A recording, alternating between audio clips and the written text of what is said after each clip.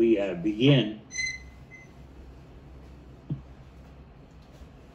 One, oh, there he is. Uh, good morning, Tom. Uh, Tom Abernethy, W3TOM, is our uh, Atlantic Division Director and my boss, and I invited him to join us this morning. And as we get started, I'll ask Tom to say a few words to, uh, to welcome you uh, officially at, from the Atlantic Division, and then uh, I'll pick it up for uh, for the rest of it. We we've got people from all over. I don't know where you're all from right now. I, I know I've got uh, two uh, two area call signs, and a lot of threes. So uh, we're from all over the area, and I do. I'm glad to have you here. 122 people so far, with more showing up, but uh, we're, we're almost 10 minutes uh, into what I had planned on starting. So, uh, uh Tom, uh, W3TOM, our division uh, director, if you would be kind enough to say a few words, we'll go ahead and get started. Okay, let's kick it off, George. And good morning to you. Good morning to everyone here this morning. This is Tom Abernethy, W3 Tom. And it's a real privilege and an honor to, to share this time with you how fortunate we are. Amateur radio is the best hobby in the world. Where else can you take and enjoy your hobby and under these uh, very, uh, very difficult times? And hopefully everyone's staying safe out there. You know, net control and, and traffic handling in general is uh, one of those acquired, uh, one of those acquired activities. We're not very few of us are ever born with uh, knowing everything. So um, it's a, it's an acquired activity and this is a great way to spend some time with each other, socialize, and share, have uh, George uh, and the group uh, share what they know, the tips they know about uh, about net control operations. Uh, the trick's going to be uh, listen up, glean the tips you can glean, and then go put them to use. Because unless you put them to use, it's hard to develop the the the full cadre of of uh, things you need to, to be a good net control. So with that, George, I'll turn it over to you. It's good to see everyone on here. Congratulations to everybody for taking a little time out to improve uh, amateur radio. Thank you, George. Okay, Tom, thank you very much. And uh, as I said before, I do appreciate everyone being here this morning, and I'll do the best I can to share what I know with you. Uh, uh, Tom Mills is here, AF4NC. He's an experienced net control, and he's going to be my co-host this morning and help me out. If you go down to the uh, the bottom of the screen, uh, I don't see it on mine, but there's a, uh, a place you can select chat. If you enter any questions you have in chat, uh, we'll try to answer them for you. About halfway through, I'm going to uh, pause and Go ahead, unmute. we'll take questions from everybody while you take a break for, uh, refill your coffee cup or whatever you need. Right now, I'm gonna mute everybody and then I'm gonna turn the uh, screen share back on again. Uh, it does appear that uh, chat is disabled. Oh, okay, that, that's a problem. I don't know if I can- Yeah, it's going on. I can hear him. Yep, chat is disabled. Okay, sorry about that. What we'll have to do then is I'll have to uh, stop periodically and pick up any questions. Uh, I built a pause in about halfway through the program, and if you'll, uh, you know, did I mute myself again now? Oh. You are unmuted. No, you're good. But I will point out that you do have the raise hand button available to you in the roster. Yeah. Well, we'll uh, we'll try to do the best we can. There's 122 of us here now, and I'm going to start the uh, screen share again. So you have my uh, EPA logo up, and the title of the seminar, "Becoming a Better Net Control Station." I started off calling it "Becoming a Good Net Control Station." And then I thought some of us are already net control stations and just want to become better at what we're doing. So uh, I decided that uh, becoming a better net control is a, a better name for what I'm trying to do uh, this morning. I'd like to welcome you to our little webinar today. Uh, I've got all the uh, microphones muted. You can unmute yourself. I haven't disabled that. Uh, I like to hold the questions if we can so that I, I don't lose my train of thought as we go through this or, or get distracted. Uh, as I mentioned earlier, I've got attendees from all over the U.S. Uh, don't know what states are here, but we've had people registered from all over the continental United States, Puerto Rico, the Virgin Islands, and Hawaii. I planned this course for about 15 to 20 people in eastern Pennsylvania. And uh, as of when I uh, sat down and turned the screen on this morning, I've got close to 400 people registered. And uh, I'm, I'm honored to have so many people willing to spend the time to learn a little bit more about being in net control. And uh, I'm flattered that you're willing sit and listen to me. And I know a lot of you are doing it because you're bored stiff with the stay at home order. So, again, I really thank you. Uh, I'm the East Pennsylvania section manager. I want to tell you just a little bit about my qualifications and who I am. I took this position two years ago, and I've been trying a lot of new things for the section and uh, doing the best job I can. I'm making some mistakes, and uh, I'm hearing about them, and that's what I want to do. If I do something wrong, I want to know I did it, and uh, I want to uh, do the best job for the section uh, that I can. I've got a few more people we'll let in. Okay, everybody uh, is in so far. I started out as a shortwave listener.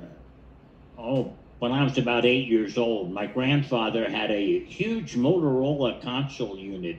Uh, if you were uh, as old as me and remember those from your childhood, it, uh, it was bigger than me. It was taller than I was, and uh, covered just about every band. And I, he used to let me listen to uh, shortwave stations all over the world and I ran into ham operators. This was back in the AM days of ham radio, and I heard ham operators talking to each other and, and got interested in it. And uh, that, that kind of got me started along the road, but uh, I didn't become a ham until many years later. I've been a ham for about 42 years. Uh, my primary interests are emergency communications and traffic handling.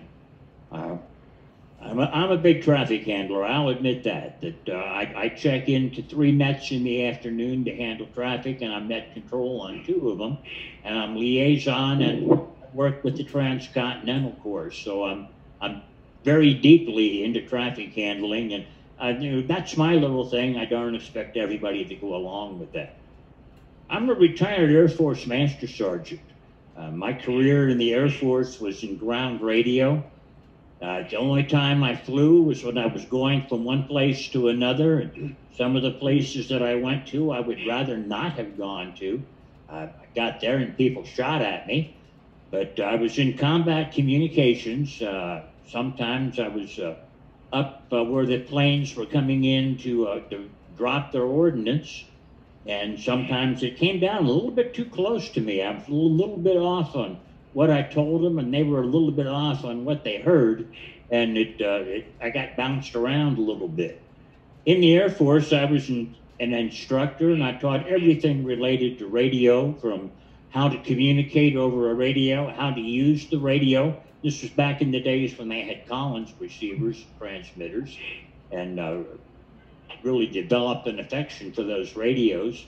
Uh, out of my spare parts bag that they sent me out with, I could build a complete radio just out of the spare parts. It was all that simple back then. It's gotten a lot more complicated. When I retired, it was a black box technician. You just replaced the circuit board and didn't try rebuilding the radio. I've been in net control for traffic nets, for emergency nets, on Skywarn. I'm one of the SATERN uh, net controls during the hurricane emergencies and I'm also a, net control with ECARS. So I've got experience with a lot of different nets for different purposes, and every net you're on is different. I also work with the local nets, and uh, that that's a whole world in itself. I've got a degree in electronics technology. I worked in broadcast radio and television. Uh, after I finished all of that, I got involved with computers and I lost control of that, like I seem to do with everything I've gotten involved in. Uh, developed a career in information technology and computers before there was a term for information technology. The first college classes that I took, I ended up teaching the professors how to do uh, do computers. I installed computer networks. I had my own business as an instructor where I taught uh, computers and computer applications for Fortune 500 companies. So I've been involved in quite a bit. I'm also a, uh, certified as a, uh, a licensing instructor for the ARRL, uh, a mentor, and uh, well, I'm probably forgetting a few things. i am deeply involved with the American Radio Relay League, and I think I'm certified for just about everything that they have. I will offer you a certificate for uh, sitting through this with me this morning.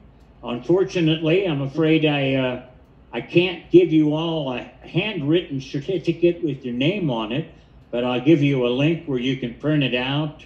I'll download it to your computer, put your name in, and print it out because, uh, uh, you know, as I mentioned before, this turned into a whole lot more than I ever thought it was going to end up being and we'll, uh, we'll, we'll go from there and see what we can do. Again, my name is George. My call sign is Whiskey 3 Golf Whiskey Mike. Uh, if I can get my slideshow running again.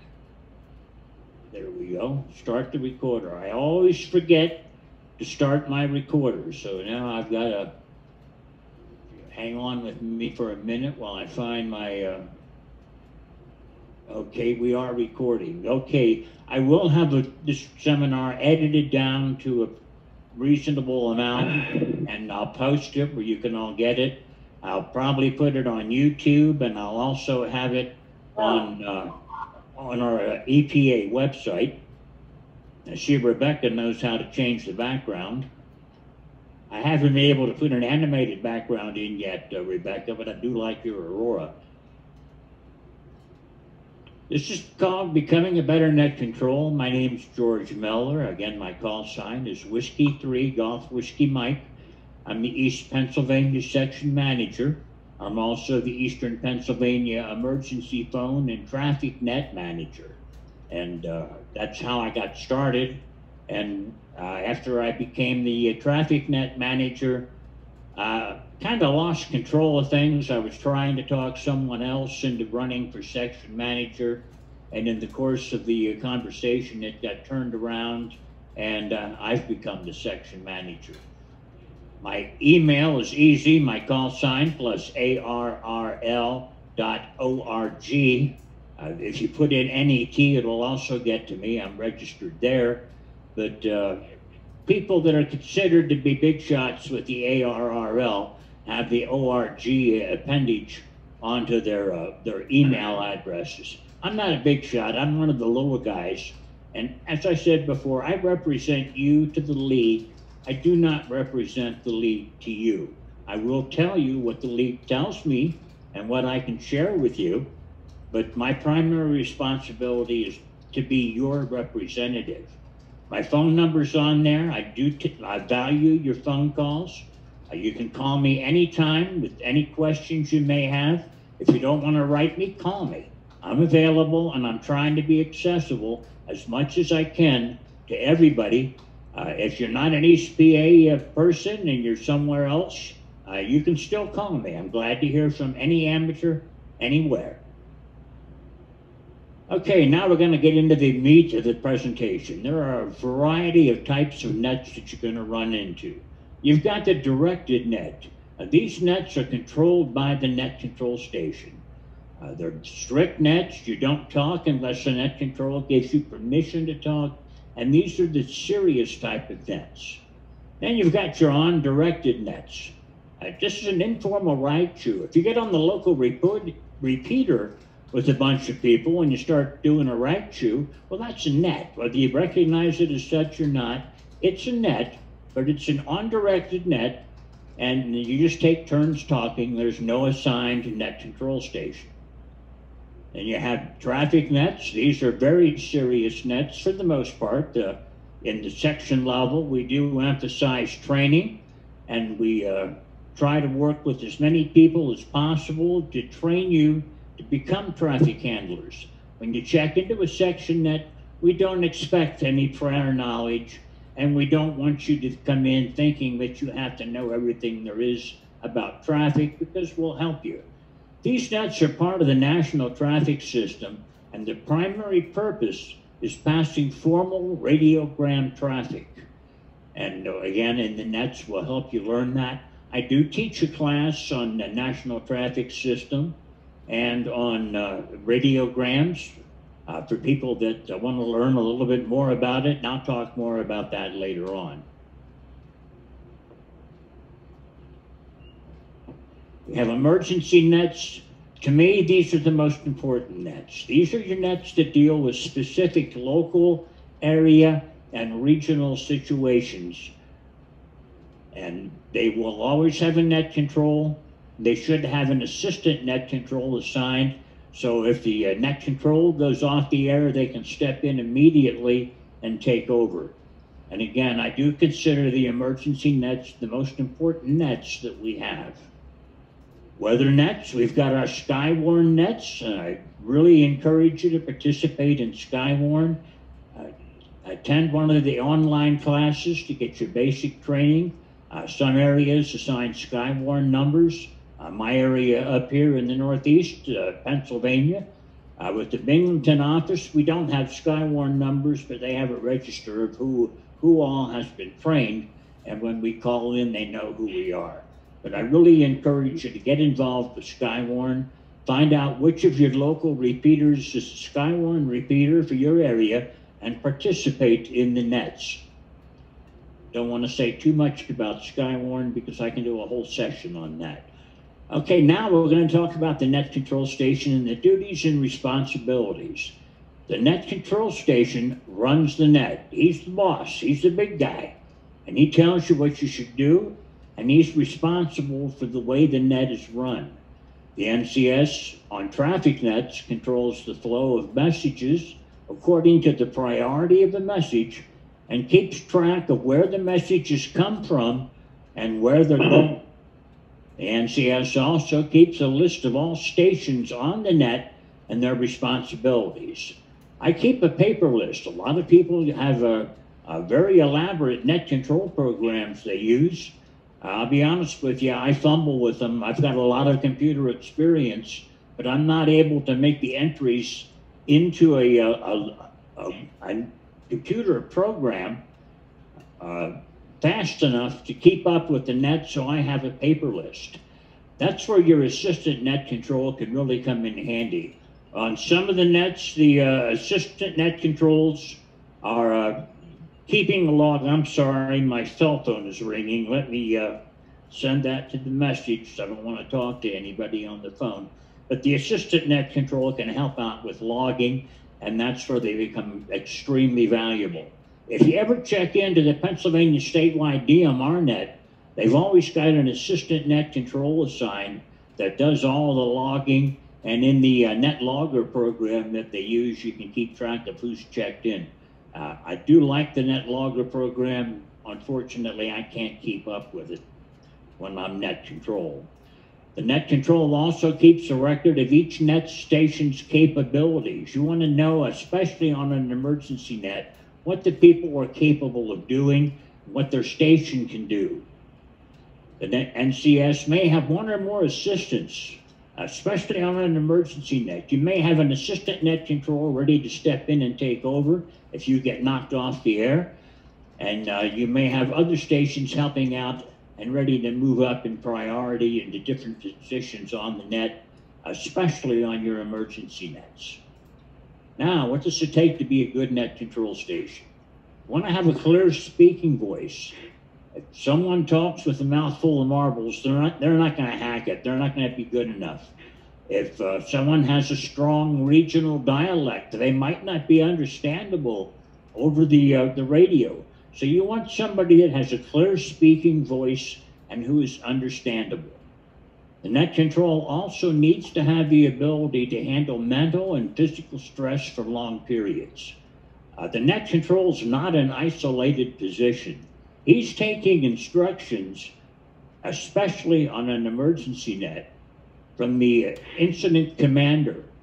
He's also getting information if, if he's in the OIC, EOC at one of the emergency communication centers. He's getting information from the served agencies and requests from served agencies. It can be overwhelming, so this person has to be able to handle both the mental and the physical stress. Mm-hmm. During an emergency, information and demands come from all directions at once, and sometimes it can go on for hours. So you really need someone that can cope with it. You have to have the ability to listen and comprehend in a noisy and chaotic environment. The EOC is not a place for people to, that can't, they're easily distracted or that can't handle chaotic situations. It takes training. You'll need to tune out all distractions and focus only on the job at hand. Also, good hearing helps. If you have trouble, if you have a hearing loss like I do, uh, that makes it tough to understand human voices, being a net control on a voice net might not be the job for you. Now, there are ways around this. Use a headset. I recommend that as a net control on an HF net, you always use a headset. It really helps. You may also find that a foot switch helps as it leaves both hands free for other things that need to get done as a net control. I use a Heil Pro headset. I don't want to do a commercial for Heil, but I really like the Heil headset. Uh, the audio on the mic is good, and I've got the Heil foot switch. Occasionally, if you've been on the nets with me, you've heard where uh, I've taken my foot off the switch and can't find my way back to it. My foot, foot slips off the switch, and I drop out in the middle of a comment, but I do like the foot switch. Now, here's one I've got trouble with. The ability to write legibly really helps. You got to be able to read what you've written. Uh, sometimes the uh, list of check-ins uh, that I scribble down as people check in becomes illegible, and I might have the call signs wrong. Uh, it, sometimes uh, I try not to. When somebody gives me a message or something I need to repeat, I really try hard to make sure it's legible and everyone uh, can understand what I need to say. In an emergency net, the NCS needs to have a working knowledge of the incident command system. These are your FEMA courses that we recommend that you take through ARES, the emergency uh, radio, or the uh, Ameri- okay, I've got the name all wrong. ARES, A R E S, the uh, Radio Emergency Service, Amateur Radio Emergency Service. I'm part of that too, and I shouldn't have stumbled on that name. But if you're uh, part of ARES, you'll be required to take some of these courses as training. They're not hard. All they do is give you a little bit of knowledge so you understand what's going on, and they're very valuable. As a net control, you need to have understanding of the incident command system.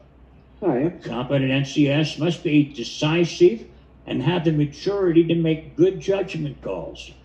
You're the boss. You're the guy that directs the net, and you've got to decide what needs to be done to keep the net on track. The NCS must be a strong, self assured management style and know how to diffuse tension and stress with an appropriate sense of humor. Sometimes a joke along the way can really help out during stressful situations, but you don't want a net control that's joking all the time. You've got to be serious, but the net control has to be able to diffuse tension because uh, in a lot of nets, whether you're at a public service event, a marathon, a bicycle race, uh, there's going to be some tension and there's going to be stress, and the net control has to know how to diffuse that stress. The NCS has a constant concern for the safety of all participants, and if you realize a net member is getting tired or becoming too stressed to operate efficiently, you've got to be able to know to relieve them and put somebody in so all people on your net are able to function efficiently. You've got to keep track of your people. You need a good voice quality. Sometimes uh, I wonder about mine. I've developed a gravelly tone over the years. I didn't have a voice like this when I did professional broadcasting, but I've kind of lost it. I possess an air of authority without being sarcastic uh, or being overbearing. The net control should not be a bully. The net control should cooperate with people, but be authoritative. You need to have knowledge of the band characteristics. Uh, this is especially for your HF nets. Uh, that it may become necessary to even change bands to maintain communications.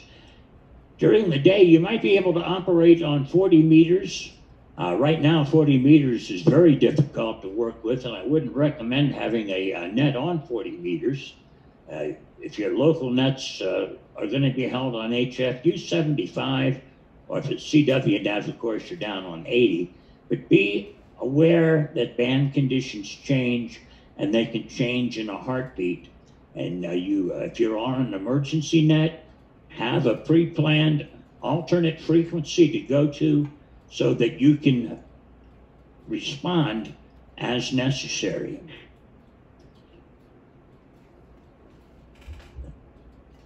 When I have a knowledge of the common equipment that people were using, for instance, you don't want to send somebody with an HT out to a location where you need high power to hit the repeater. NCS should be a strong team player and an organizer. A one man show or a big ego doesn't work. It's detrimental to the efficiency of any net.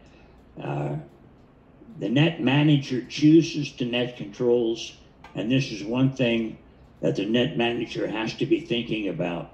Uh, you, you don't want a, a big ego or somebody that's a big showboat in there as the next.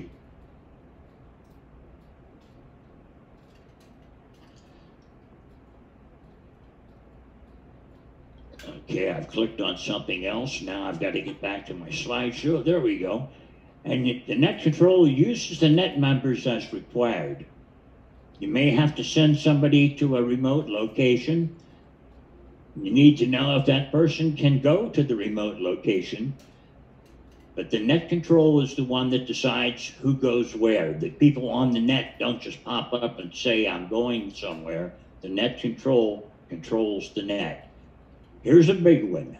Never criticize someone on the air. That's very, very bad form. It's the worst thing you can do. Remember, the people that are on your net are volunteers. They don't have to be there. They're there because they want to. And if you criticize them over the air, you're turning that person off and you're going to lose them.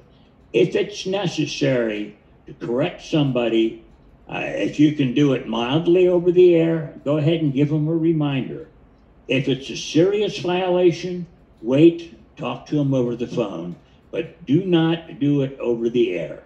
It makes you look bad and it embarrasses them. The net control has to have a willingness to take and carry out direct orders. You might be the boss, but you're going to get instructions from the incident commander and from the served agencies you're representing. If you're at a marathon or a bike race, the people in charge of that race are your served agency, and they're going to tell you what they need. So you have to be willing to be flexible. The NCS facilitates communications Sometimes you have to adapt to instructions during a fluid situation. During an emergency, things are changing minute to minute. You've got to be flexible enough to adapt to the situation. You need to constantly demonstrate above average operating techniques. Lead by example. Set a good example for everyone on the net. If you're efficient, and you maintain order and you operate professionally, they all will too. As I said, lead by example. The NCS needs to have a general understanding of all the MOUs. That's the memorandums of understanding. These are the uh, documents that we put in place with the agencies we served. It might be the Red Cross, uh, your county EOC, any agency that we're going to help during an event. We have to know what our memoration, what our memorandum of understanding with that organization is, so we don't exceed our uh, our place. That we stay within the bounds that are described for us, and we know what they're going to be asking us to do. Here's the most important one. The NCS should have a spouse who doesn't mind you playing radio.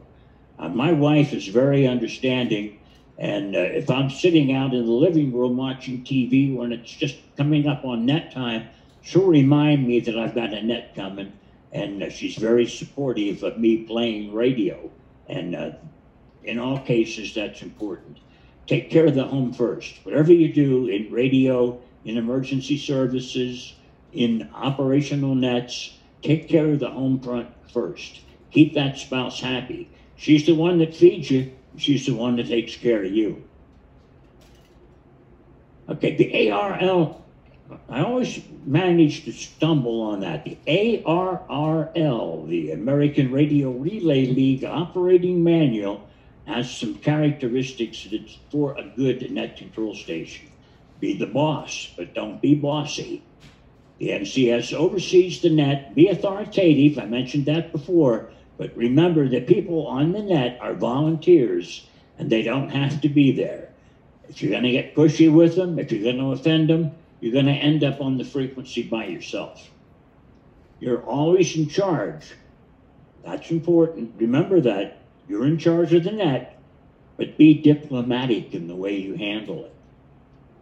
Be punctual. You want to be on the net on time. Try to be on the frequency 15 minutes early on a scheduled net. You may have to, on an HF net, get on the air and hold that frequency. Talk to other people that are waiting for the net to make, make sure that net frequency is available at the scheduled time.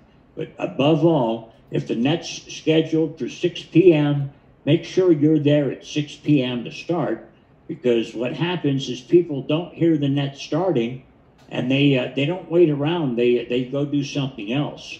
I've seen nets that are two minutes late not function because nobody showed up for the net. Now stations come on frequency before the start of the net record the call signs and other necessary information.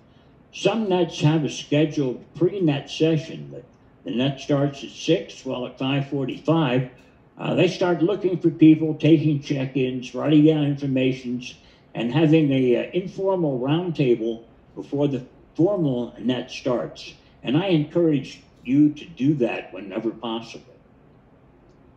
Know your territory. It helps to have a basic understanding of the ge geography of your net's coverage area. Know where the mountains are. Know where the rivers and swamp areas are because you may have to send someone out onto a remote location. If you got a mountain between where you need someone and the repeater, you may have to send somebody out as a relay up on top of the mountain to relay information from the person on the other side of the mountain to get him into the repeater. So be aware of the geography of your individual net's coverage area. Now, this applies to your local FM net on the repeater, as well as your section net, your regional net, or the area nets. Know the geography of the area that you're talking to. Keep your radio and antennas in good shape. Uh, my radio is on just about all the time. I hardly ever turn it off, and I monitor my various net frequencies and my emergency frequencies. So I know my radio is working. I inspect my antennas daily just in case one of them's come down. And uh, I want to make sure that I, when I flip the switch for a specific antenna, that that antenna is there and is going to work for me. Equipment failures during a net cause problems for everyone. Keep your workspace free of clutter. I'm guilty. My workspace gets very cluttered. I end up with papers everywhere. I'm taking radiograms and writing down information. Uh, I've got a list of radiograms I need to send. I've got a list, a pile of radiograms I've received. And in the course of the net, my space gets cluttered, and I admit it, but you want to try your best to keep the area free of clutter. At a minimum, you're going to have a copy of your net preamble. I didn't really talk much about that, but every net should have a preamble. That's a written script of the way you, what you're going to say to start the net and to get things running. Uh, I've been doing this, I've been doing nets for about 55 years now. I've been doing them in the military and in ham radio. And every time I call a net, I have the written preamble in front of me so I know what I'm going to say. And I will be honest with you, if I don't have that preamble, if I'm called on to start a net all of a sudden that I'm not prepared for, I stumble and I don't do it right. So make sure you have a copy of the preamble so you know exactly what you need to say and what instructions you need to give to the people that are checking into your net. Make sure you have radiogram forms available, even if it's not specifically a traffic net. A traffic a net a message may show up on your net, and you want to have a radiogram form available to write it down on. It's easier to use the ARRL forms than it is to try to scribble it down on a piece of paper. And if you take my traffic class, you'll find out why. You always have a list of check-ins in front of you. You want to be able to refer to that all the time, know who's on your net, and uh, it's just good practice. You want to establish the net frequency by moving to avoid interference. Just because the net's scheduled to be on 3917 kilohertz doesn't mean you have to be on 3917 kilohertz. There might be QRM on that frequency that makes it difficult for people to hear. Well, move the net to a different frequency. Don't feel you're obligated to stick to the listed frequency. You can move to wherever you need to. Move up or down to avoid the QRM. But don't move so far that people looking for the net might not be able to find you. Now, on the uh, one of the nets that I'm on almost every day, sometimes we can't use our listed frequency for. Uh, there might be a special event station using it. Uh, the QRM might be so bad that we can't communicate, so they may move uh, sometimes as much as 10 kilohertz. But what you want to do when you move that far is make sure that you assign someone to stay on the assigned frequency so that people that show up looking for the net can be told where to find it after you've moved. Now, never tell the net control he's on the wrong frequency. The net control is never on the wrong frequency. The net control sets the frequency. Everybody else tunes to the net control's frequency. I've heard that a lot. Hey, you're on the wrong frequency. You're you're 500 hertz high. No, he's not. He's established frequency. He is the net control. You tune to his frequency or her frequency. I don't mean to overlook the ladies. Sorry about that. Keep a record of every net session. After the net is closed, you need to prepare a report for your net manager. This report includes, at a minimum, the number of check ins into that net session, the number of messages that were passed. If it's a traffic net, that's very important. You want to record the running time for the net, record the start time and the stop time. Any other items can be required at the discretion of the net manager. As I mentioned, each net is different. Every net manager wants different information, but at a minimum, you need the number of check ins, messages that were passed, and the running time for the net. Now, communication skills. These will develop over time. You might be new. Uh, we've got people here that experience net controls. They've been doing this some maybe even longer than I have, and you develop your skills by doing it. Now, communication is affected by band conditions, your personal operating skills, the method of communication. FM is better than sideband, uh, DMR is better than FM. Noise or interference on the frequency and the skills of the net participants. If you've got a newbie on HF that's never handled traffic, uh, you're going to have to work with them. You're going to have to slow down to their ability to comprehend and able to work. Make them welcome, work with the ability of the slowest person on your net.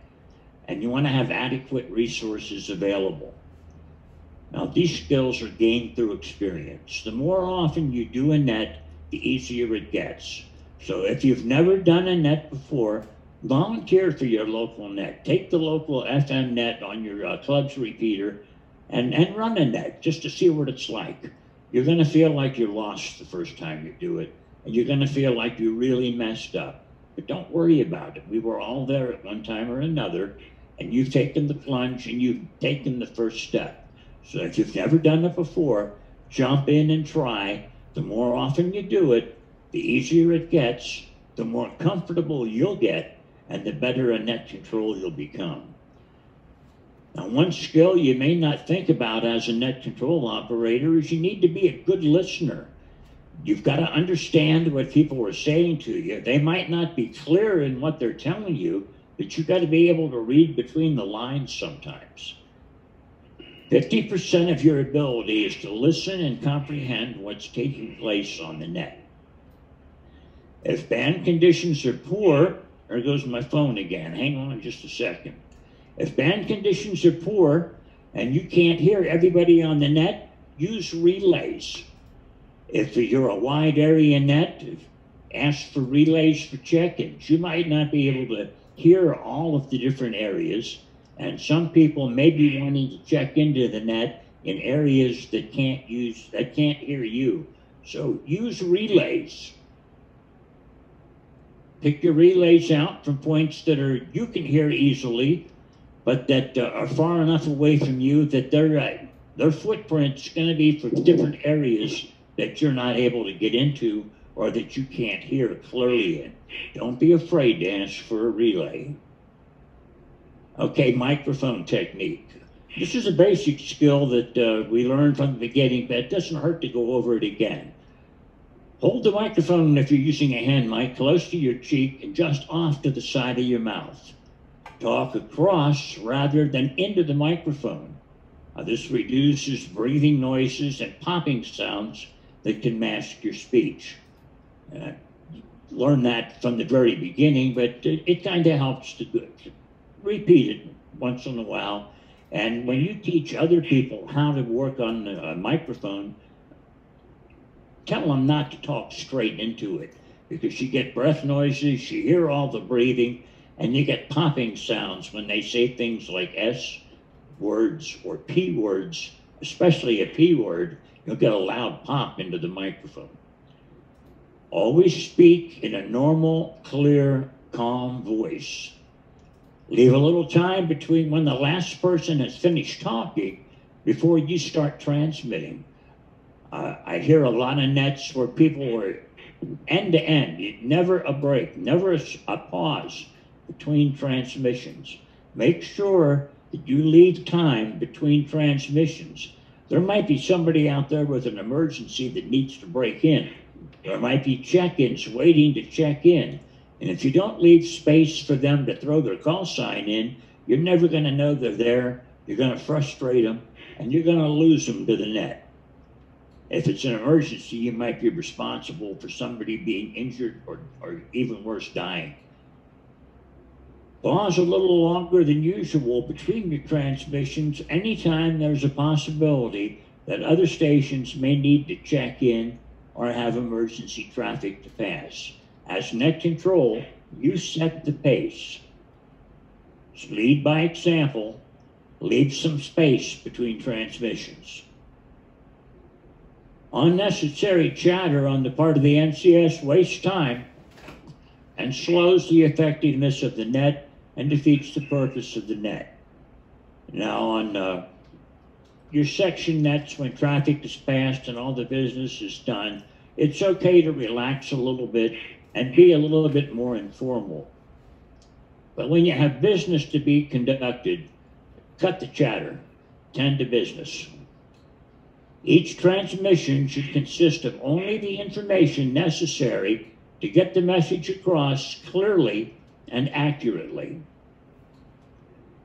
Extraneous information distracts the recipient and leads to misinterpretation and confusion. I go into this in a lot more detail on my uh, uh, net classes, teaching net techniques, but uh, there are certain pro words and procedures you need to follow, otherwise, you confuse the people. Make your transmissions crisp and professional. You want to sound like the police or a fire radio dispatcher or the air controller. Be professional.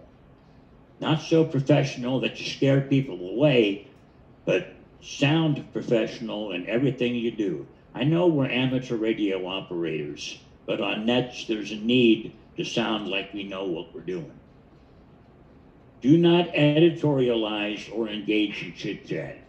Uh, you might get an instruction to follow that you don't agree with. Just pass it along. Don't make any comments about what you think about that instruction. Just go ahead and, and pass it along. Don't editorialize. The net control station should refrain from non essential conversation, especially on emergency nets or when there's net business to attend to. If you're passing traffic, make sure that traffic gets passed. Make sure you say exactly what you mean. Think before you speak. Use specific words to ensure that your precise meaning is conveyed.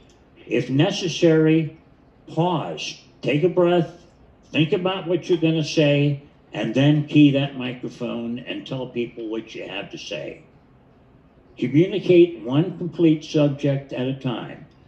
If you're sending a list of information, passing traffic, or making an announcement, keep each item separate and finish with one before you move on to another. Again, this is thinking before you speak. Use plain language. All messages, transmissions, and directions should be in plain language on voice nets. Now, on CW nets, we do use Q signals for brevity and for the efficiency of the net. Do not use CB words. 10 4 good, buddy, out. Never say that. Anytime, even when you're not on the net, don't use CB slang. Q signals on phone are frowned upon. Now, we all say QSB, QRM, QRN, QSL, that's not good form, and we really shouldn't do it. But uh, most of us have been around long enough; we know what it means. Ten codes or other jargon should be avoided at all costs. Uh, we're not police, we're not ambulance, we're not CBers. We don't use ten codes. Pro words are acceptable, and once you learn the pro words and people on your net understand the pro words, go ahead and use them. Most of them are self-explanatory. If you say break, that's a pro word. Everybody knows what break means. So go ahead and use pro words, but make sure people understand the specific meanings of the words you're using. This saves time and ensures that everyone on the net understands precisely what is being said.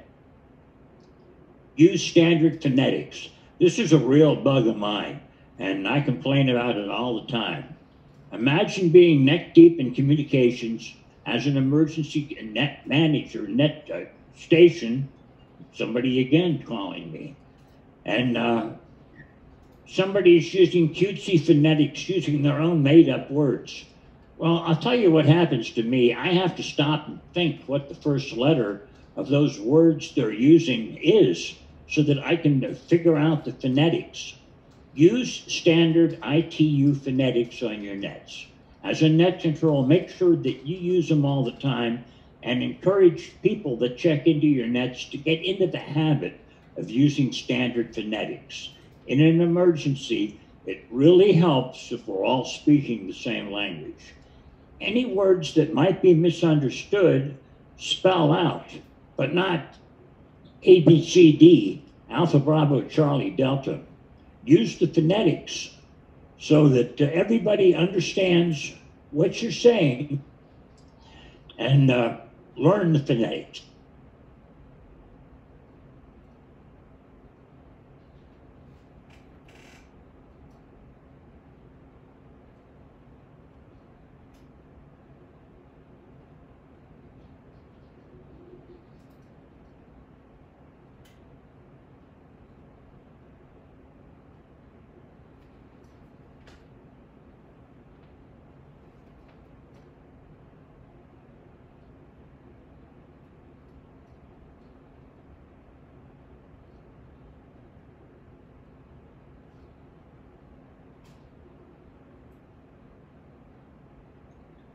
George, did we lose you? Yeah, you've muted yourself again, George.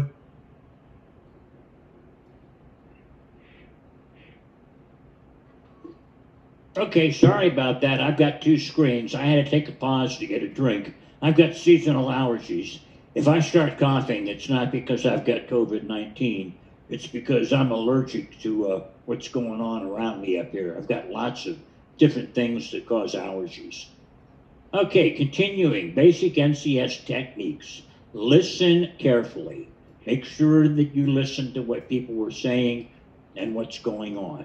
It's easy to miss critical information when operating under stress.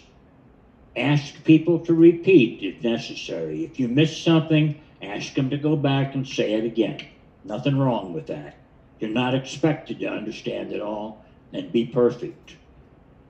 Now, when taking check-ins, list as many calls as you can before you start acknowledging stations, but don't try to take the full list at one time. It uh, sometimes you may have 30 or 40 people checking in. Take as many as you're comfortable with, and then go back and acknowledge the stations that you've got written down. There's going to be stations doubling, especially on FS, on uh, HF. Do the best you can. And come back later to pick up any stations you might have missed. If you're a regular NCS and you've got people that check into your net all the time, as soon as they say the first syllable of a word, you're going to know who they are and you're going to recognize them. So it's no problem. But uh, don't think because stations are doubling, they're not being a good net control. Just tell them you're doubling, let's spread it out, let's try again, and pick it up from there. Now, always stop and handle any emergency traffic before proceeding with any net business. If somebody comes in with emergency traffic, everything else stops. Tell the net to stand by, make an announcement, stand by until we finish the emergency, and then pick up the emergency and handle it. When possible, send stations to another frequency when relaying message traffic. However, never send emergency or priority traffic off frequency. If it's a routine message, pick a, a free frequency. If you've got a uh, analyzer where you can see where the traffic on the band is, and send stations to a free frequency to pass routine traffic. If it's an emergency or priority, handle it on frequency. Never move them off frequency. Never take a chance on losing them or having communications become lost with that station. Stay calm. Regardless of what's going on around you, stay calm. If the NCS gets excited, the net gets excited. Keep your cool. Take your time and always pay attention to what's going on.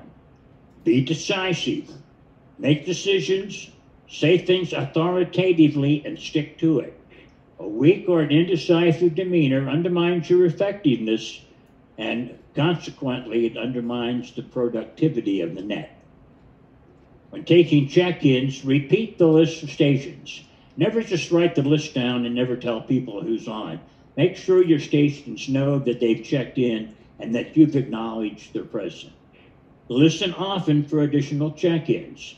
Pause the net and ask specifically for any additional stations to check in. Okay, a couple of things to avoid here.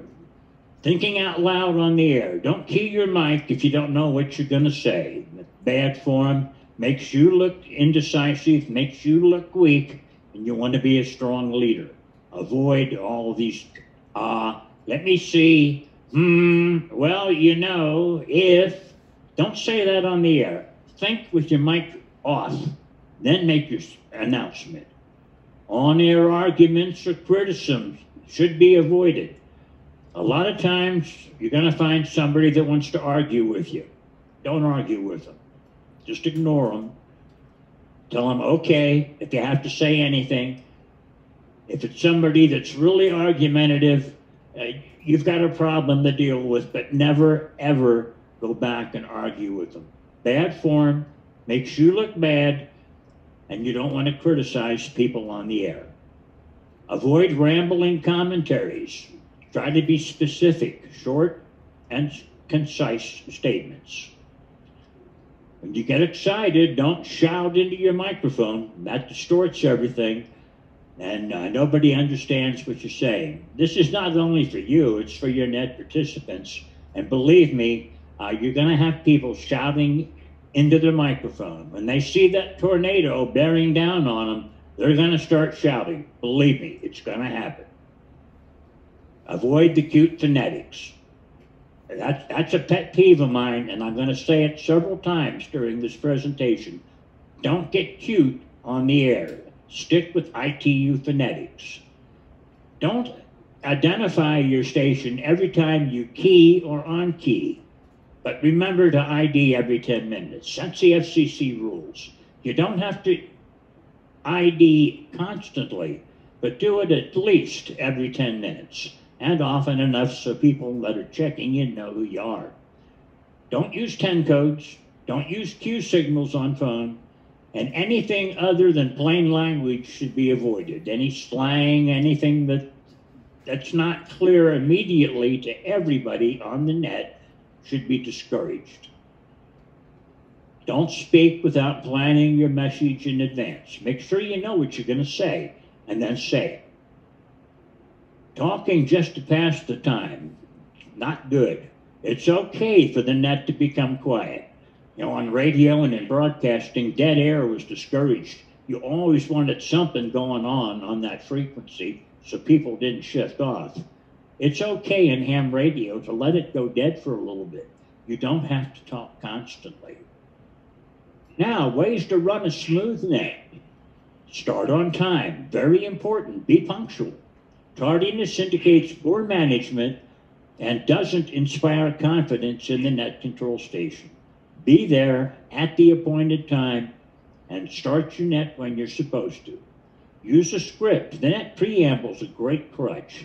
And like I said, I've been doing this for about 55 years in the military and in civilian and on ham.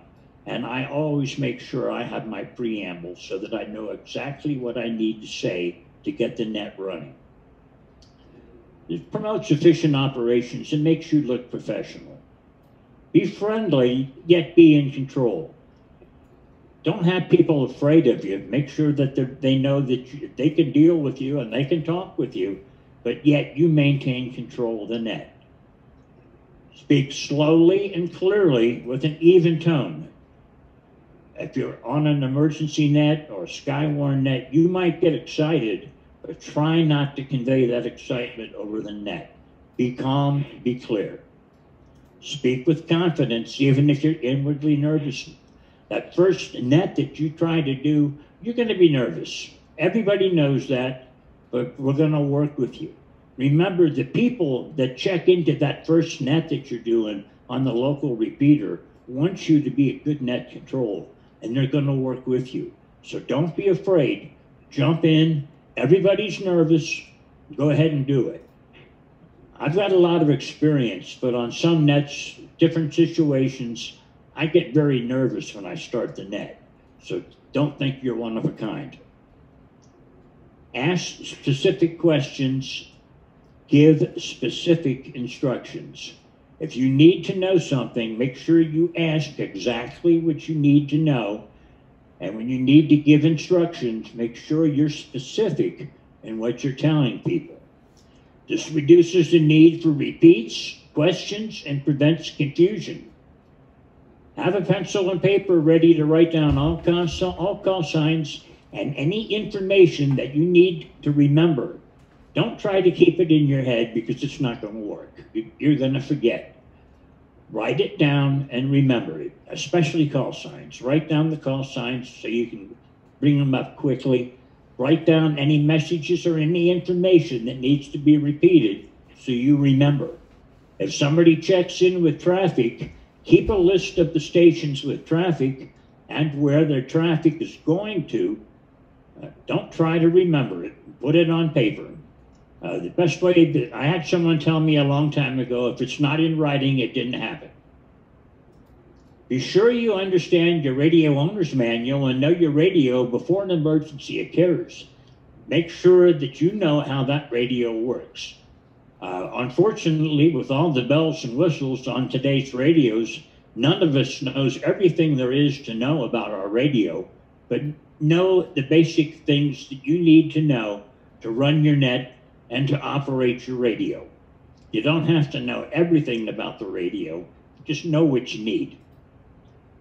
Know how to use your microphone. Articulate each word clearly. Don't slur words. Try really hard to speak clearly because you're going to have some distortion over the air. And speak close to your mic, but talk across it, not into it. When there's a double, listen to see if you can identify either station by their call sign, by part of the call sign, or even by their voice. Then ask all stations to stand by and clear up the, the doubles, find out what's going on. Ask each station to repeat as needed. Sometimes, especially on HF again, you're going to have stations that are weak. They're going to be hard to hear.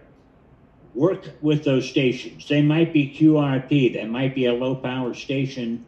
Work with them. Take the time to get them into the net. Use relays. If you can't hear them, ask if somebody else can hear them. If it's not an emergency net and the station doesn't have emergency traffic, don't be afraid to take the time to get that station in. It might slow the net down, but it makes you look like a conscientious operator, which we all are. During check-ins, recognize participants by name when possible to boost the morale. I know a lot of the people that check into my nets by their name. As soon as I hear the first part of their call sign, I know who it is and I know what their name is, so I welcome them in by name. There's other people that I don't know, and there's some people that are becoming regulars on on the nets that uh, I don't know their name, but I may have to ask them their name a couple of times before I remember it. But uh, on, on the guys you don't recognize that are checking in, uh, write their name down uh, next to their call sign so that uh, you can call them by name later on. I got a couple people waiting. I'm going to uh, admit them. Sorry if, if you've been waiting and I haven't admitted you yet. I'm sorry about that. And uh, I just overlooked you. I do try to admit people as soon as I can. And uh, you're welcome to come in anytime at all. Now, again, try to recognize participants on your net by name to boost morale. Now, during an emergency, that might not be the efficient way to do it. You may have uh, tactical call signs assigned that you're going to use the tactical call sign rather than the person's name or their even their uh, FCC call sign. But remember, every 10 minutes, stations need to ID by the FCC call sign. Identify by name for the net and identify the purpose of the net. Make sure you tell people what net they're checking into and what the purpose of the net is.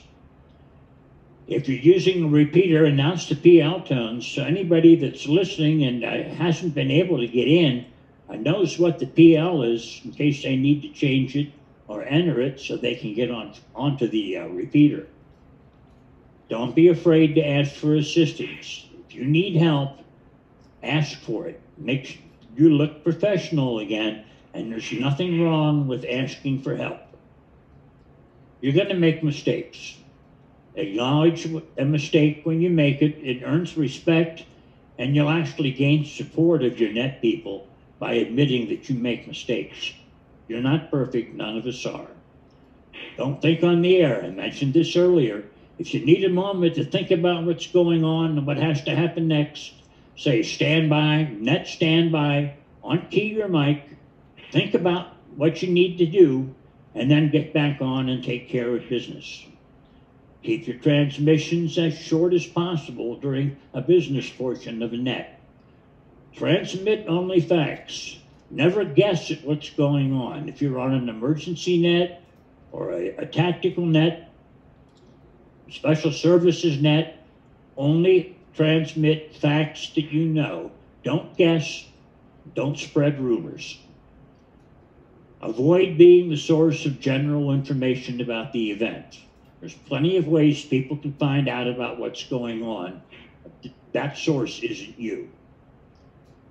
use standard ITU phonetics. Again, I'm bringing this up. Again, it's a pet peeve of mine because when somebody checks in oddball phonetics, it slows me down. I really have to stop and think about what the first letter of each of those words is so that I understand what they're telling me.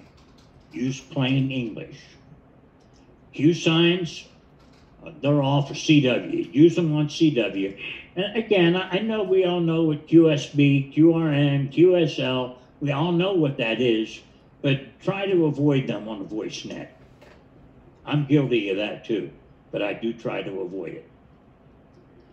If the net's been quiet for more than 10 minutes, sometimes on a, uh, a net where you're in session for a long time, uh, you may have periods with no traffic being passed. Check on the operator status, do a roll call, see who's still there and who has disappeared so you know who's on the net. And uh, it, it just uh, good form to know what's going on and who's there. This keeps the net running smoothly and makes sure that you know about any equipment failures uh, and any missing operators as quickly as possible. Net control should always be the station that has a strong commanding signal. Uh, you don't want a QRP station as the net control.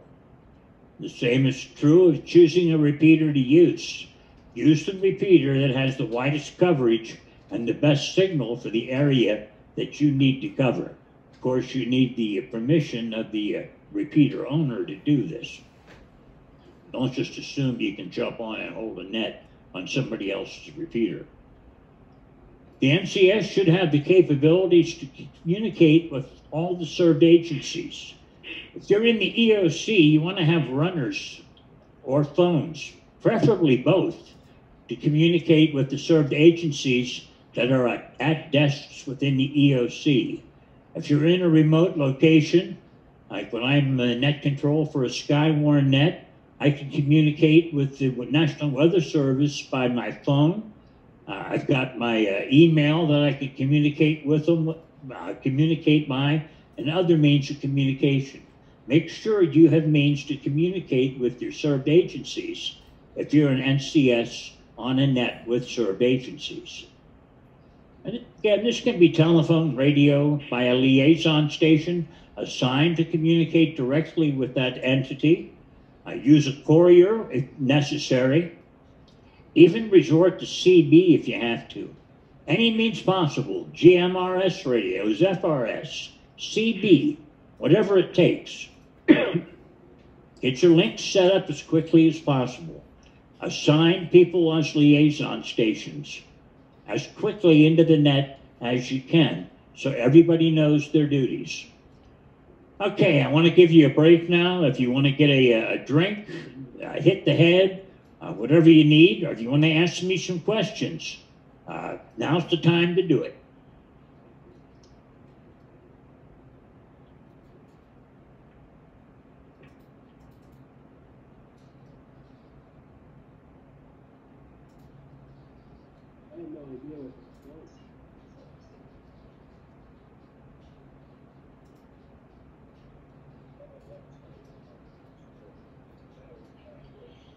I think someone's mic was open and you could hear some sniffling. So make sure you're off when um, we're not, you know, having an opportunity to talk. Thanks. George, what's your expected runtime for the rest of the course?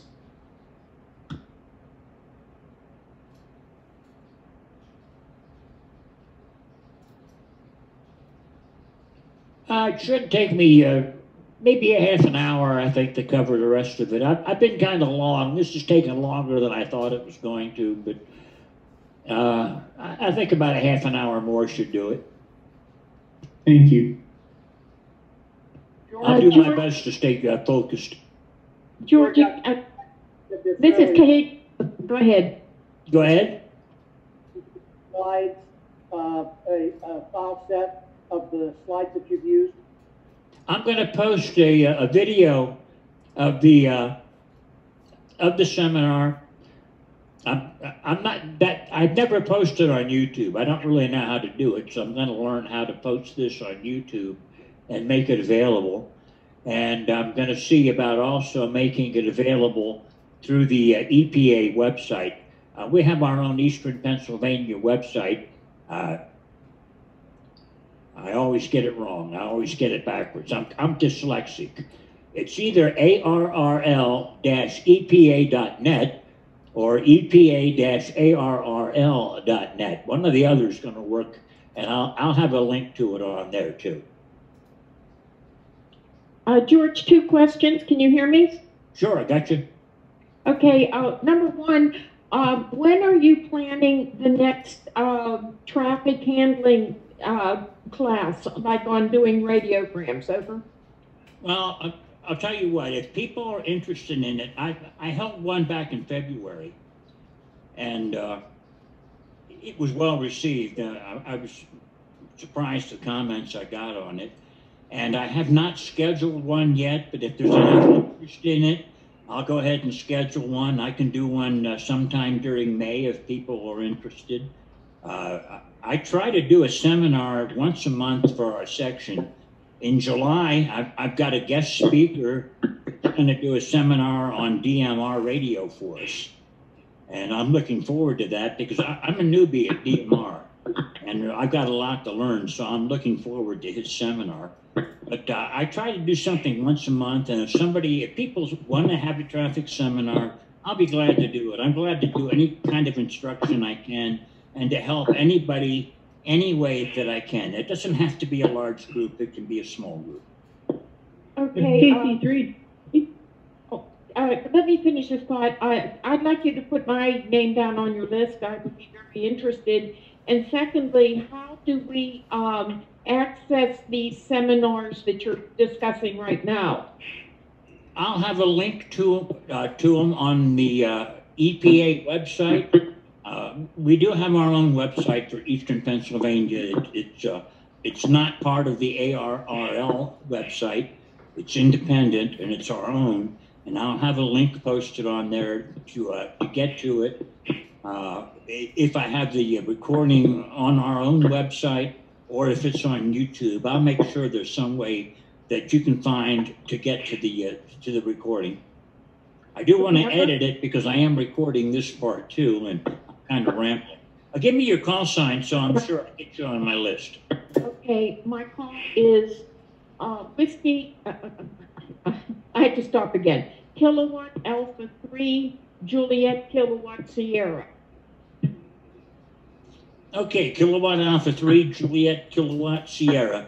I'll make sure that I get in touch with you somehow and let you know when I'm going to do it. Uh, I- I'll, uh, I send out my section managers emails, uh, actually probably more often than I should, but I try to keep everybody informed of what's going on in the section. And I know I, I use the uh, reflector a lot more than a lot of other section managers before me have done. But I want you to know what's going on. And uh, if you're not already subscribing to the, uh, the, announcements I send out, uh, you can do it through the ARRL website and your profile. Uh, you get messages from uh, our division director, our vice director, and from me. And uh, I like everybody to know what's going on. So if, if something's happening, I'll send out a general email, and it goes out to uh, about 2,500 people in East PA that are registered to uh, receive these announcements. Okay, George, I'm not, I'm not gonna dominate the conversation here. Uh, I'm in western Pennsylvania, so I will try to access this. And just one quick question on, Another one? yes, George, go Okay, ahead. that- Any- Anybody else that wants to talk, go ahead. George, this is Hank. Go ahead, Hank. I've got a couple of comments. First of all, uh, if you're not talking, uh, mute your microphones. There's an awful lot of background noise, and people moving stuff around and uh, uh, crackling and everything else taking place. Mute your microphones unless you want to uh, address a, uh, a question to George.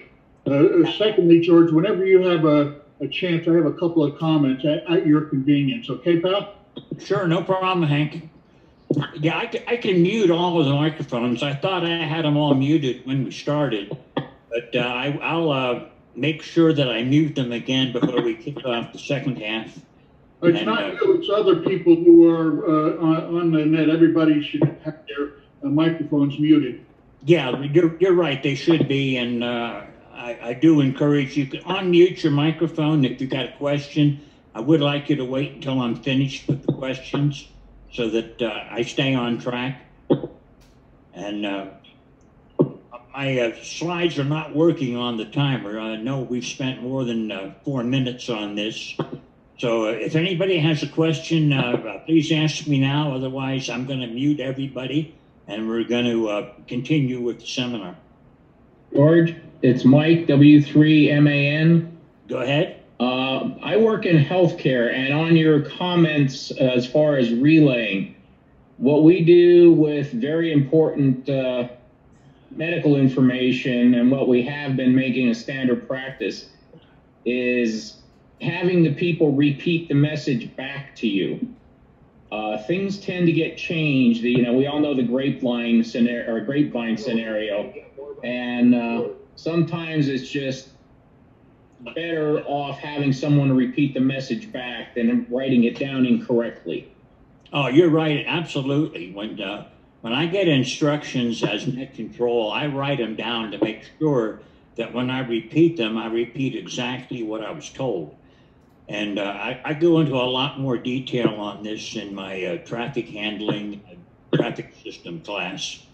Uh, I'm kind of glossing over some of the important material in here that people will gain from experience. But absolutely, when uh, you have a message, write it down. And so it gets passed exactly the way you received it. Okay, thank you. KC3 GPB? Go ahead, KB3GBB. It's KC3 GPB, but anyway, um, I would, if, if your time allows, I would encourage you to do your next class there as soon as possible because a lot of us will be going back to work the 8th and I have a lot of free time, you know, while we're still in the shutdown. Uh, Well, I- thanks a lot. Well, I've got the slides all ready to go. All I have to do is schedule it and send out a, a meeting time, so that's no problem. And uh, I can do it, uh, well, as soon as next week if people are interested. Yeah, George, I'm from uh, Western Pennsylvania too, but I certainly would like to uh, get on your email list for classes. And by the way, I just sent you an email with a little funny story about phonetics for your enjoyment, and it's kind of a thank you for doing this class too. Well, thank you. And yeah, anybody, uh, if, if you want to send me an email, if you want to make sure you get information from me, I'll, uh, I'll put a list of people for seminar attendees together. I'll get a mailing list together and, and I'll send out a group email to everybody. Just send me an email. Uh, tell me you want to be on my seminar list and I'll put you on it. And I'll make sure that, uh, at least to the best of my ability and, and to the best that email works, that you know what I'm doing. Email does let me down sometimes. That I had a lot of people that uh, I sent emails to that never got them, that asked me how come they never heard, and uh, had a lot of people sign up last night and this morning, and I probably have some emails now from people that want the instructions to log in that I haven't given them to yet, but uh, I I'll do my best. George? Hey, George? I'm sorry. Go ahead, Ralph. Yeah, just a comment about uh, the Q signals and things like that on the on the net. Uh, the other night, uh, I got a text from a guy who's a newbie who's on the web or who's on one of the nets, and he says, "What does it mean when they say I got to grab a nickel?" We got to watch ham speak too.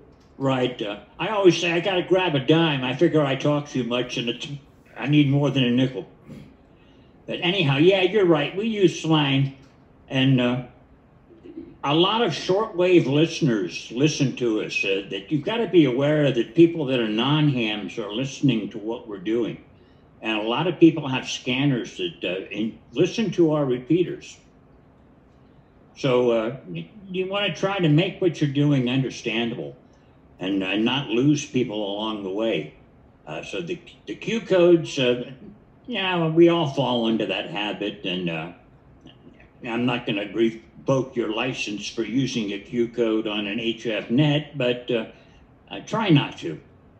I mean, I've, have- been, I've been criticized for it. I've been on nets where I've been told not to say QSL. Yeah, we have some media in the area that actually monitor us if they know something's going on. Hey, George, this is NAQBT. Go ahead. Yeah, this is Val. Um, nice job on this session so far.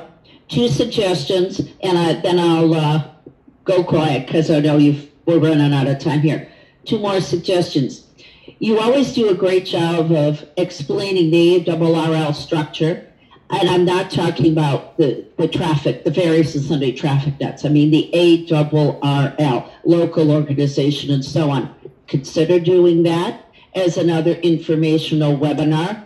Not, it's not related to any radio skills, but it's understanding our organization. Okay? And Okay, then number that's two. a good idea. I'll, I'll write it down so uh, Okay, and number two. don't forget. And number two is um, an introduction to the world of being a VE. Now, the ARRL has its own VEC and all that. But if there are people who are ham radio operators who get involved with traffic nets, they might also be interested in getting becoming a VE. Okay, Well- again, that's organizational knowledge rather than just skills. But again, that would be a good, crisp, clean, short, brief overview. I think would be very informative for members at all. That's it. Thank you for the airtime. And AQBT is I, I will take that under consideration. I will not do a seminar on VE because there's people around that know a lot more about it than I do. Uh, we've got VECs that are holding the uh, testing sessions. I'll, I'll get one of them to uh, hold a, a session for us and, and explain it to uh, to everybody, and I'm sure I'll get a lot out of it as well. Any other questions before I move on? Yeah, George. N3GE, Roger. Go ahead, Roger. Uh, it would be helpful if it's possible to send us out your PowerPoint, which is very good when you send us out our blank certificates. The uh, be nice to have that to follow up and review. Okay, well, I can post the PowerPoint presentation too, as, as well as the uh, recording of the webinar. And uh, that's no problem. And I'll make sure that it's available. And it'll be, uh, again, on our section website. And uh, I, maybe I'll put it on YouTube. I don't know about YouTube, but I'll, I'll make sure I have it on our local website. Okay, I'm going to mute everybody now and move on. Uh,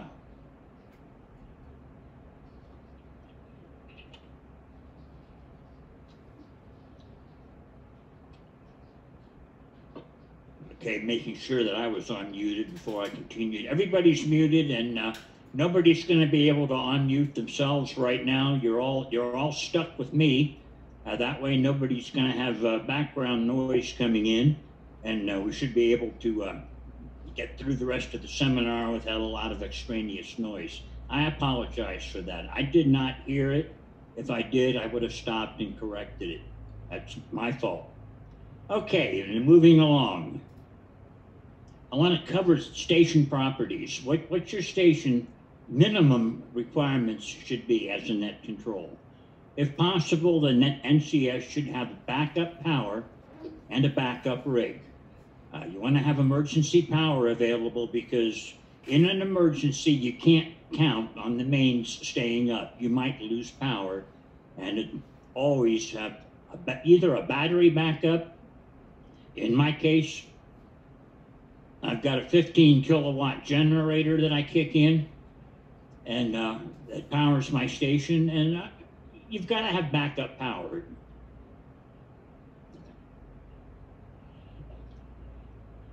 During short-term violent weather events, an alternate NCS should be assigned before the as you get started.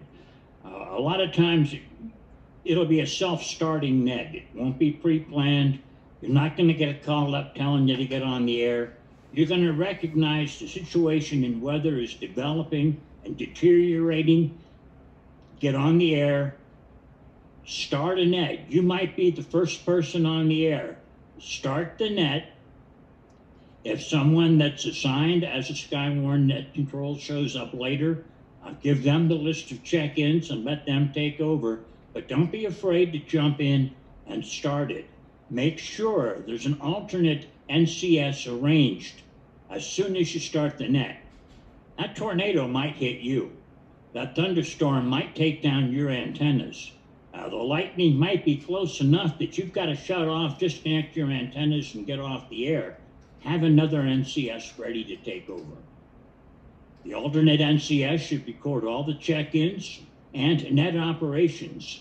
If you're dispatching people to remote locations to report on conditions, the alternate NCS should also have a list of those locations and those assignments.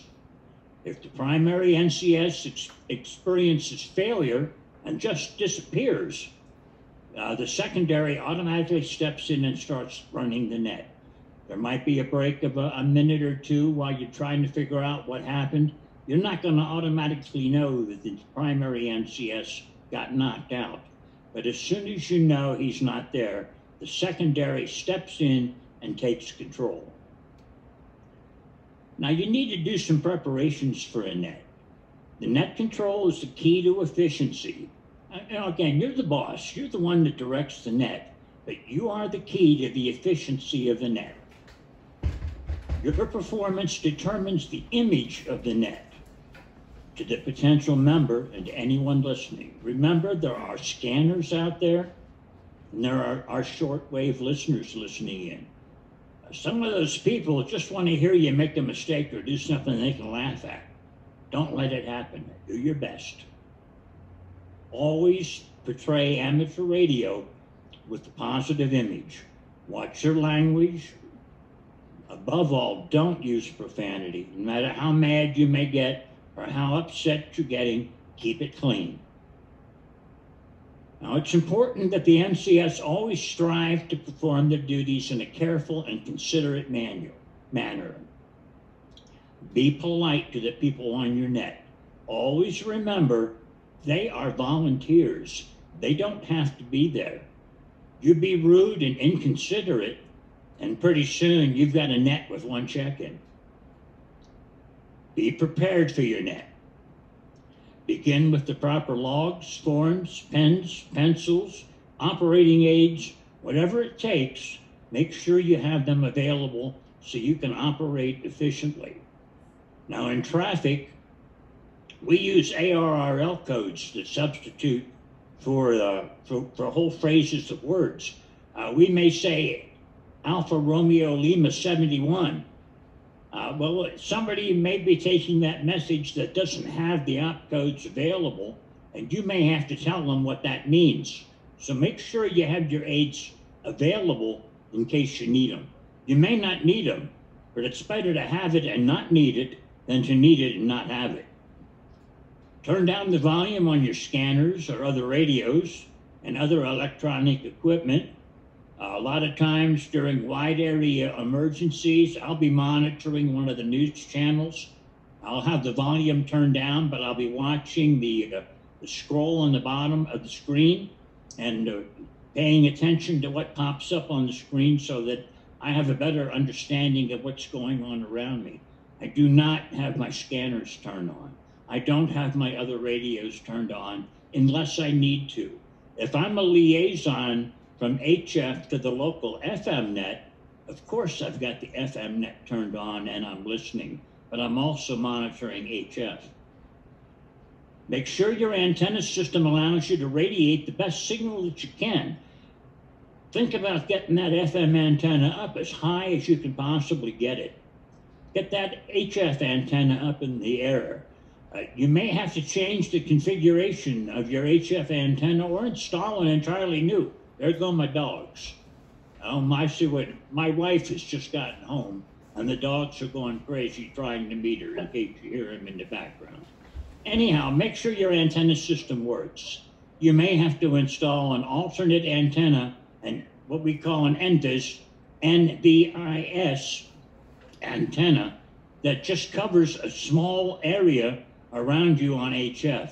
So give consideration to your antenna pattern and propagation for whatever you're trying to do. but make sure that you have the best antenna possible for anything that you're trying to do. Now, this doesn't mean buy an amplifier and crank it up to 10 kilowatts. Uh, you can operate with 100 watts on HF. Uh, you don't need 100 watts on FM. Hit the repeater, make sure you have a good signal, and uh, don't worry about how much power you have. I work a lot of stations with 5 watts on HF nets because that's all they have, and they have to be worked. I've had 5 watts from Puerto Rico and it worked. Accuracy is preferred over speed. Don't try to move as quickly as possible. Move as accurately as possible. If that means you have to slow down, remember you're the boss. Slow down. If you find yourself making errors, slow down. Take a break. Tell the net stand by. Pause, think about it, and continue. Now, your relief operator during every event that runs more than two hours, you're going to need to have operators available in locations and for net control to act as relief operators. Two hours seems to be the stress point. People start to get tired. Uh, if it's an emergency net, they're, they're starting to feel the stress and they need a break. Get them away from the microphone, get them away from the radio, get yourself away from the radio, and bring in your relief operators. Now, a lot of us, especially in areas we don't have that luxury, we don't have enough people. I recommend, whenever possible, assign two people to every station. I know that doesn't work. I, I know we can't do it, but that's my recommendation. As NCS, it's best interest of the net and for your own sanity to have a relief NCS. Don't stretch it. You're going to get tired. There's a lot of strain and stress in being a net control station. There's a lot to remember. There's a lot that you have to do, and you're responsible for a lot. This adds up over time. So take advantage of a relief NCS. This comes back to don't be a one man show. Don't think you have to do it all. Somebody else can step in, and the net will be better off for it. The new operator needs to know the list of the outstanding messages to and from any location. This is especially true on your emergency nets. You need a list of traffic to and from locations. This goes back to messages. Message is kind of informal. If somebody tells you, hey, the water's getting deep out here, that's not a formal message. But uh, you can write it down and remember because you're going to have to move that guy somewhere. Now, you want to keep a log of all formal radiogram traffic. If you've got a message from the local Red Cross to national headquarters, you want to record that message and have a log that tells you at what time that message passed through the net and who the liaison was that took that net to forward it on. That's vital. You really need to have that information available for an after action report. You want to know the status of all open queries. If one of your served agencies asked a question, you want to know what the status of that question, whether it was answered or whether it's pending. You want to make sure the relief operator knows the local and remote contacts for any location or served agency and others as needed. If you're not using technical signals where uh, your local, or your call sign for the EOC is not EOC, uh, it's uh, WXYZ, make sure that the, the relief operator knows the call sign of the contacts for each served agency and for each location. A roster of all nets on the station, on the net, and their status. If uh, somebody had checked in that's vital, but they're not there right now, you want to mark down that they're missing and make sure the relief operator knows that they're missing so they can check back to see if they show up later. Any other information the outgoing operator feels is necessary, pass along to your relief operator. Whenever possible, both operators should handle the assigned task for about 10 minutes. Uh, this makes it a smoother transmission have them both there, both working, working together, and then the operator that's being relieved go off and take a break. Now, message precedence. Emergency calls have the highest priority of anything that happens on your net. Priority is next. Whenever you hear a call on the net that begins with the words priority or emergency, stop the net and give your undivided attention to that call. No routine transmissions are allowed until you announce that normal net activity is permitted.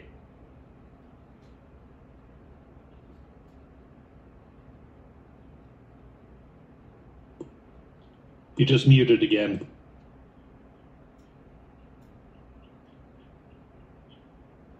Okay, I did that on purpose. I had to take a drink. Okay, whenever you have to take a pause, say something like, or for emergency traffic, say something like, please hold all routine traffic until the emergency traffic is passed. Make sure people on your net know that you're dealing with an emergency so they don't interrupt you.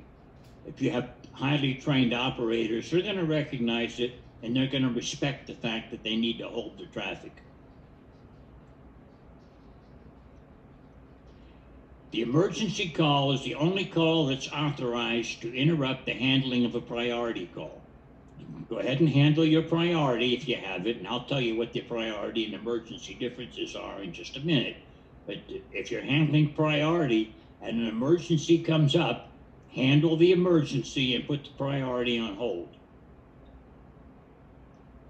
If you're ever involved in handling a priority, as I said, put it on hold and handle the emergency first, then go back and pick up the priority before you resume a normal net.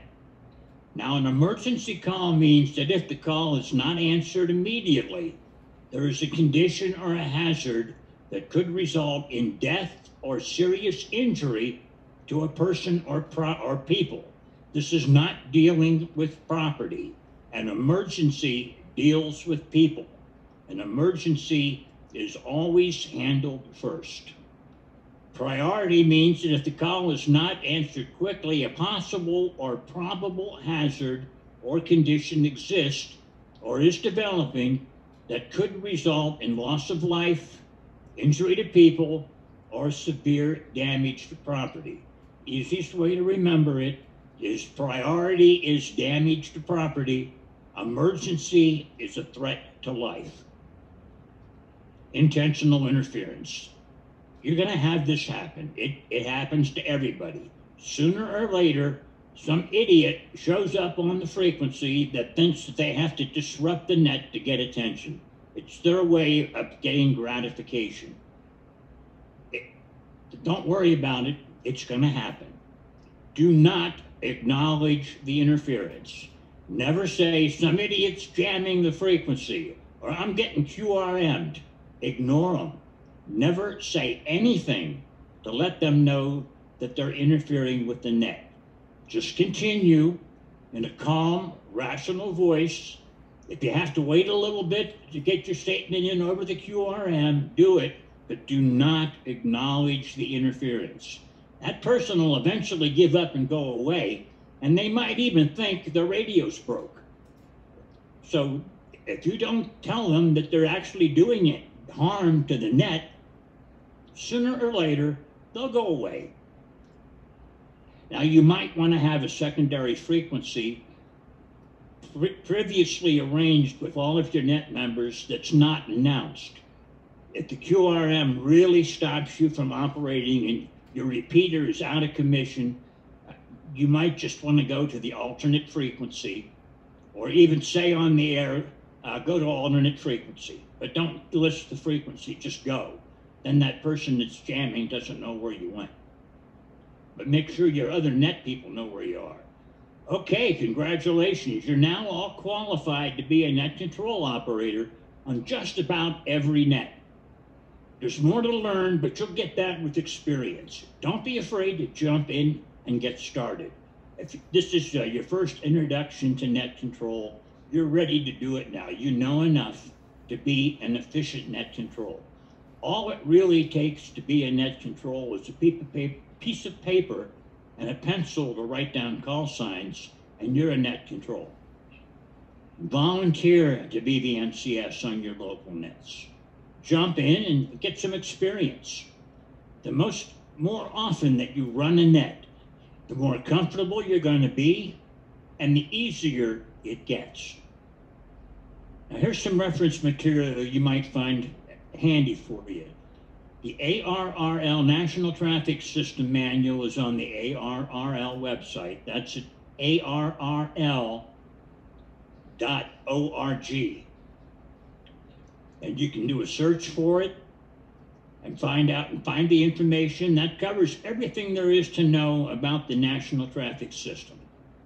And it's a good reference. Read it, get familiar with it, and take advantage of what you learn from it.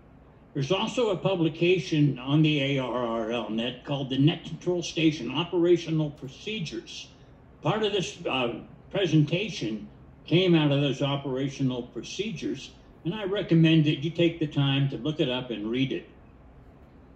Also, uh, look for the Appendix B NTS MPG net control. Has specific instructions for the net control. Now, if you want to listen in on nets and you don't know where to find them, you can use the ARRL online net directory, and uh, there's the link to it. Uh, just remember, once you're on arrl.org, you can do a search for net directory in their search engine and it'll, it'll show you where the net directory is and you can search for nets specific to your area or your region. If you want to listen in on the traffic nets, please do so. If you want to listen before you join in, feel free, but don't be afraid to join in. If, uh, if you're here in uh, East Pennsylvania or West Pennsylvania, you're welcome on our section nets. Section nets are training nets. We don't expect you to be an expert. We'll teach you. That's part of our job. Our responsibility as experienced net controls and traffic handlers to help you get started. If you want to hear a net that really moves along, uh, you can listen in on the uh, eastern uh, the eastern area section net covers the entire eastern United States, and uh, things move up there. Uh, I tell people that's the big boys. Uh, that's the big leagues when you sign up there. And there's no fooling around, there's no comments, it's all business all the time. But you can listen on 7.222 kilohertz every day starting at uh, 3.15 Monday, Wednesday, and Friday, and 3.30 uh, Tuesday, Thursday, Saturday, and Sunday. Uh, not 2.30, 3.30 on Tuesday, Thursday, Saturday, and Sunday and uh, listen in and see what's going on because that's where the traffic gets moved and that's where it's sent from there to all over the country. Larry Phillips. Everybody hated Larry Phillips, but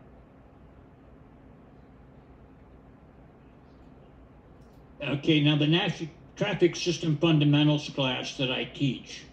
If you're interested in this class, uh, please let me know. Send me an email to w3gwm.arrl.org, and I'll schedule it as soon as I can because soon a lot of us are going to be coming out of our stay at home orders and be able to return to work or other activities. So I will schedule this class as soon as possible if there's people that are interested in taking it.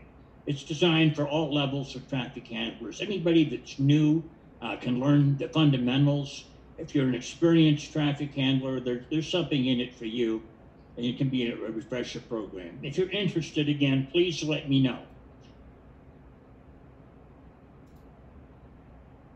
Okay, and now moving along, I've got one more slide for you before I open all the mics back up again. Once I uh, get my control, I'm running two screens, and occasionally my mouse gets stuck and I can't get back to the uh, screen control. Uh, this is my information again. Thank you for your time this morning. We've had 114 people for this session, and I'm in awe of you people because you're showing a desire to improve your skills and become better operating on all of your nets. My email address is on there, my phone's on there. Welcome your phone calls. So anytime I'm not on a net, I'll be glad to talk to you. Got to caution you from three o'clock till seven o'clock, I'm on nets and I'm not going to be able to talk to you and I do not take phone calls during that time. But Any other time, I'm glad to speak with you. I don't ever talk. I got. I, I use the wrong terminology. I don't talk to you. I talk with you. There's a big difference. Now, I do have a certificate available for you, and again, I apologize because of the large number of people that have signed up. I can't send out individual certificates and put your name on it for you. I have signed them all, and they are available for you at the link that I have on the screen right now. If you, could write it down and go to that. If you go to the, the uh, EPA-ARRL.org, that's our East PA section website, and there is a link on that page that'll take you to our information on classes and information to uh, download the uh, certificate. I do appreciate your time and uh, your interest this morning. Um, gonna unmute everybody, and you can ask me any questions you have. Anyone that needs to leave, please feel free to do so. I will not be offended, but I'll be here to answer every question that uh, anybody has. George, I have a comment. Okay. Okay, but I would, would appreciate though, if you don't have a question and just want to listen, please mute your microphone again. And only the person with the question, please, uh, unmute your mic so I can hear clearly. Okay, George, Zach, Go ahead. I have a couple of comments. First of all, wonderful presentation. Great job, my friend. Well, it took a little longer than I expected. We're almost at the two hour mark. Uh, this will go quick. Uh, you mentioned the uh, script, absolutely uh, important. And uh, what I do with the uh, script, not only have this is just. but I also have the agenda for what's going to take place on the net and what to say at the end of the net. Um, and the most important thing is the check-in process.